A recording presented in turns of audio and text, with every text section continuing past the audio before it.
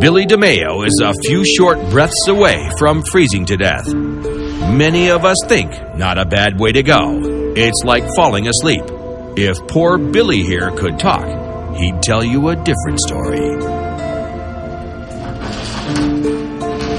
South Philly Billy, that's what everybody called him. He got his job in the meatpacking district through a mob connected cousin. It was a sweet deal. And unlike his coworkers, the cold never bothered Billy. The temperature inside a meat locker is kept at a bone chilling 10 degrees below zero.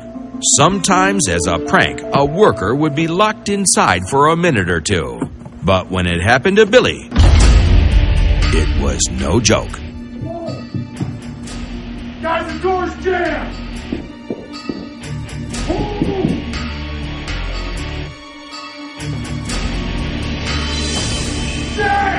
Billy's body temperature starts out at a normal 98.6 degrees. But when that freezer door slammed shut, his death clock started ticking. Time and temperature were now his enemies. After 10 minutes, the palms on Billy's hands are down to 60 degrees.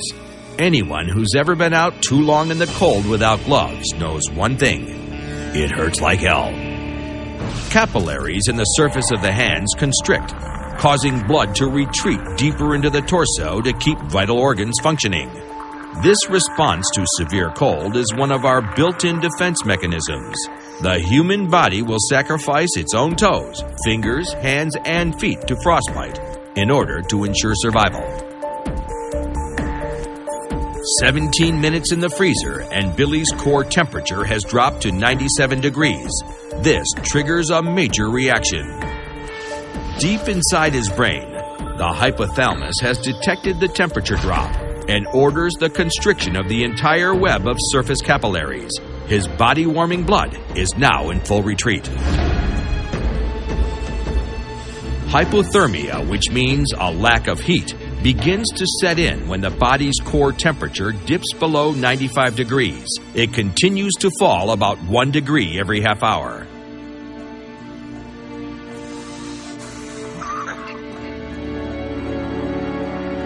Billy's core temperature has fallen below 90 degrees, and his eyesight has begun to fail.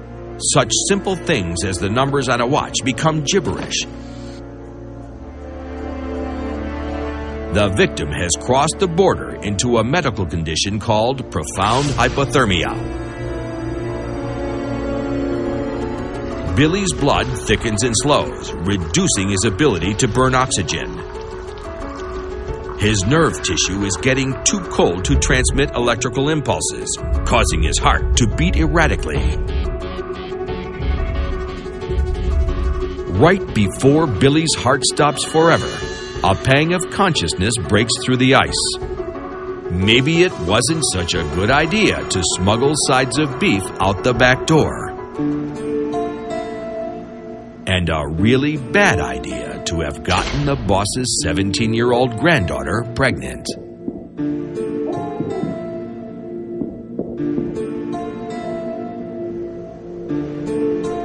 There's an old Italian proverb that says, Revenge is a dish best served cold. Rest in peace, South Philly Billy.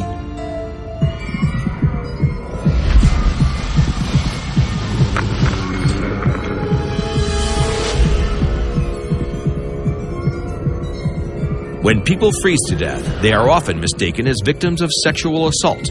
The reason? Right before dying, constricted blood vessels dilate, producing a sensation of extreme heat, prompting them to strip down. It's a phenomenon called paradoxical undressing.